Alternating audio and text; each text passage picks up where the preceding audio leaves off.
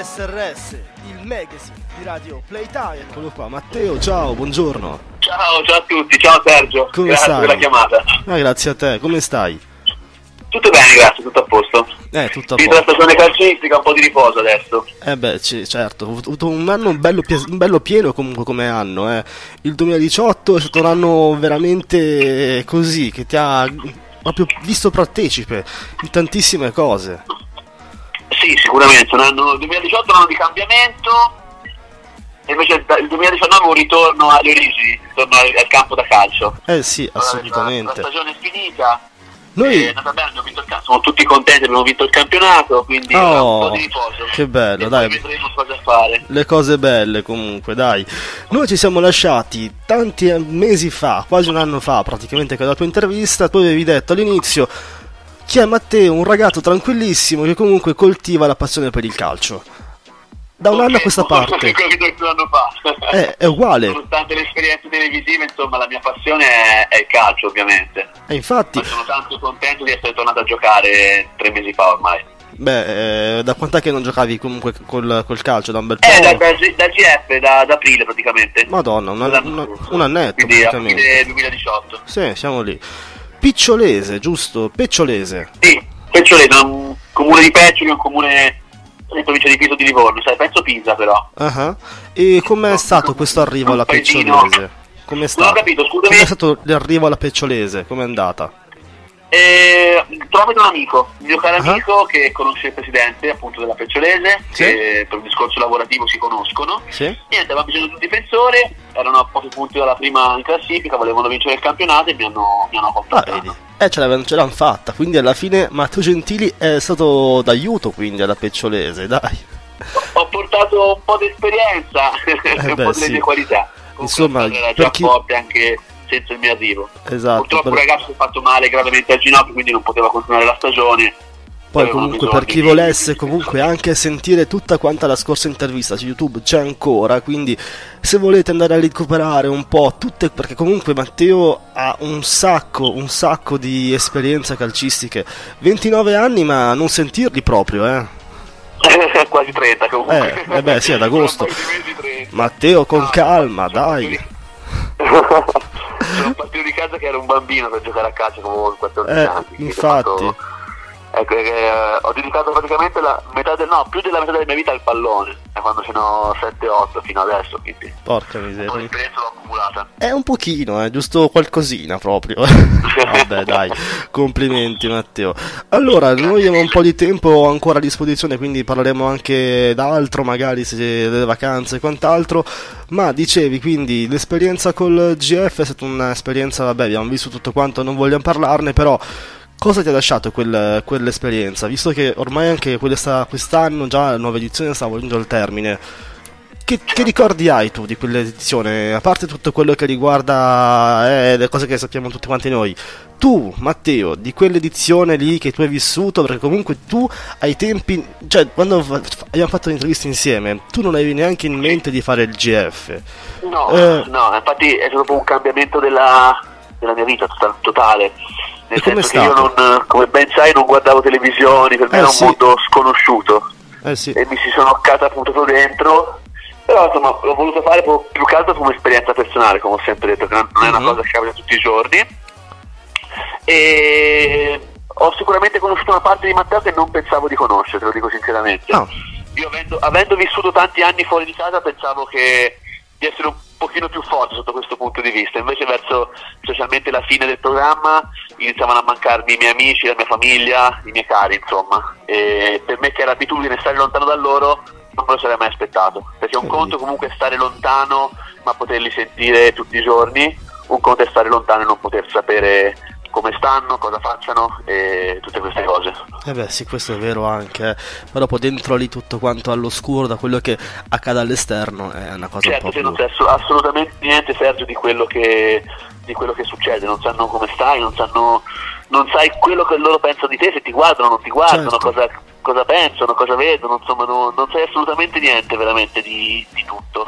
Ma bello che comunque, guarda Matteo, forse, for- questo forse è un complimento che ti faccio, ma ehm, ti dico, sinceramente, Guarda, sei rimasto umile sei entrato, umile sei uscito. Questo è quello che dico io e, cam- e per quello che conta, secondo me, non sei cambiato per niente. Quindi hai tu maturato un sacco di esperienza lì dentro, però comunque Matteo è rimasto Matteo. E questo è, è una cosa veramente molto positiva, secondo me. Secondo me, guarda, quella era un po' la paura dei miei genitori quando sono entrato, sinceramente. Paura di cambiare. Il pensiero che un qualcosa mi potesse, mi potesse cambiare, sì, che quel mondo, il mondo televisivo potesse un po' cambiare, insomma, il Matteo che conoscevano loro. Mhm. E secondo me questa è stata la loro paura quando sono entrato nella casa. Oh, eh beh certo, tutti quanti dicono porca miseria adesso l'impatto così forte che ha quel reality. Sicuramente magari potrebbe invece per fortuna non è, non è successo ecco diciamo proprio così non è successo per niente.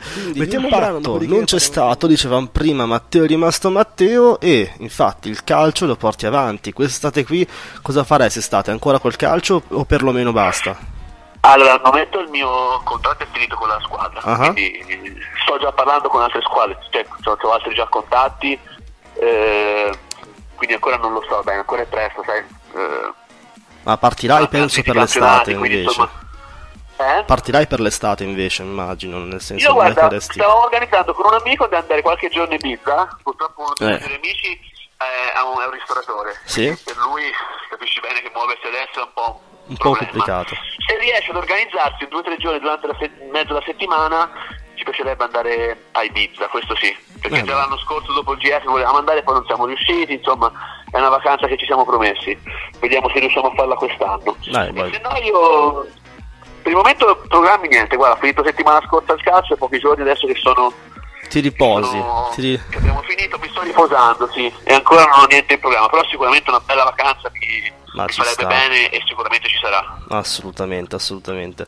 Matteo, allora, gli argomenti sono questi, gli argomenti di cui parlare ci sono stati, ma allora chiediamo un po' a Matteo Gentili adesso invece, ehm, non voglio parlare d'amore, non voglio parlare di niente, vogliamo parlare di te, parliamo di ehm, cosa faresti al momento, calcio ok, Ehm, televisione, perché abbiamo letto in questi ultimi mesi, eh, Matteo Gentili farà, Matteo Gentili è... Ma Matteo Gentili eh, ho cioè, letto anche io gli articoli, è giù un giornale pochi giorni fa, un articolo che in- ingaggiato da Canale 5, io assolutamente non so niente Sergio. quindi ti dissoci da tutto quanto. Se mai ci dovesse essere un qualcosa si valuta, come è giusto che sia, Sì? e com- come ho sempre detto, metto sulla bilancia. E poi valuti. di peso scelgo sempre il pallone, perché quello che so fare, è, la- è il, è il mio interesse. Se Assolutamente. però chiaramente poi la bilancia pende dalla parte televisiva, ovviamente si sceglie di là. Vabbè, Se si no, vedrà, contrario. Poi con calma si vede. E il rapporto con i fan, eh, perché abbiamo visto che comunque negli anni, beh, in questi ultimi mesi col GF e quant'altro ha avuto un impatto fortissimo anche sui social. Com'è con, eh, con i tuoi fan? Eh, no, guarda, mh, ho avuto la fortuna di, di conoscerne tanti anche personalmente. Abbiamo fatto un Ah. paio di raduni ed eh, ho conosciuto persone belle persone. Perché poi ho visto... ho visto- quasi quotidianamente.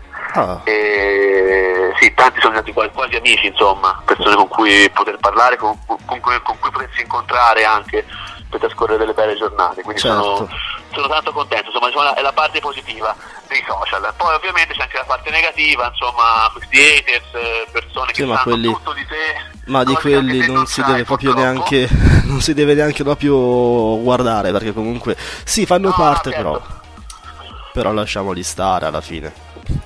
Ci sono, fanno, fanno parte del gioco, come dico sempre, Certo. quindi eh, devi essere bravo a non dare troppa importanza a quello che leggi, poi alla fine te sai veramente quello che vale, quello che sei e quello che fai soprattutto. Mhm. Mamma mia. Il problema, come dico sempre, è che poi tante persone si lasciano trascinare, no? Sì. Perché magari un profilo, un profilo fake, scrive un qualcosa, abbiamo visto Matteo là, che poi Matteo non c'era là, e però purtroppo poi le persone si lasciano trascinare, ah, Matteo era là, Matteo ha fatto quello, Matteo ha fatto quell'altro, e probabilmente bisognerebbe tante volte ragionare un pochino più con la propria testa, senza lasciarci trascinare dalla, dalla massa. Però vabbè, insomma, dai, va, Sono va cose che capitano pure queste, d'altronde. Oh. Eh, vengono fuori i marker dal girone, non vengono fuori anche i fake, ragazzi. Eh, questo è. Vabbè, ultima cosa. Ho, ho visto su Instagram che eh, oltre alle bimbe di Giulia c'è anche il bimbo di Matteo. Non so se avete visto sui social, ci sono veramente ragazzi. Stai, stai attento, Matteo, che qui veramente se qua viene fuori un qualcosa, attaccano questi, eh, mi sa. Stiamo attenti. Le fanbase sono potenti, comunque ce No, ne sono tante. sì. nel bene e nel male sono però la maggior parte insomma, ti ripeto, sono persone che ti vogliono bene, che ti seguono eh, e ti apprezzano per quello che sei, insomma, questo fa, fa, piacere. Riuscire a entrare comunque a essere un esempio per tanti ragazzi uh-huh. eh, è una bella responsabilità da un, da, da un, certo punto di vista perché comunque diventi quasi poi l'idolo delle persone, no? Tutti questi ragazzini che ti, che ti seguono, che vogliono sì. fare quello che fai te, quindi è molto importante quello che fai e il messaggio che trasmetti. Dall'altra parte comunque c'è grande soddisfazione di essere riuscito a entrare nel, nel cuore delle persone. E poi tu lanci un messaggio, secondo me, che è pazzesco e quello che tutti quanti devono fare alla fine è quello di non mollare mai perché se tu dal 2004 quando è stato 2001 e le, tutte le varie squadre e quant'altro fino ad oggi continui a crederci e ci credi nello sport, nel calcio e non molli mai alla fine ce la fai vedi eh, quello che forse io... è quello che tu stai mandando moltissima gente ecco. moltissima. no no io mai mollare e crederci sempre insomma anche perché eh, ognuno di noi vale tanto, no? E devi uh-huh. sempre dimostrarlo, non devi mai arrenderti alle prime difficoltà, assolutamente, perché poi dopo alla fine eh, se non molli e ci credi arrivano i risultati sicuramente. Io penso di essere l'esempio, sia a livello sportivo che a livello sentimentale. Insomma, È di quello che stavo dicendo, esattamente. Però non mi sono mai battuto, insomma, si casca perché ti deve cascare, sì. ma ci si rialza sempre più forti di prima. Assolutamente Sergio. Assolutamente sì. Matteo, allora il tempo già è finito, io ti devo ringraziare. Peccato, eh. starei, starei ore a parlare con te, lo sai. Grazie, lo so, grazie, grazie Matteo.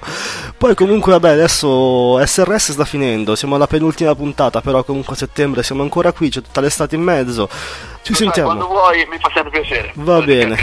Grazie mille Matteo. Mi raccomando sui social Matteo Gentili seguitelo perché top.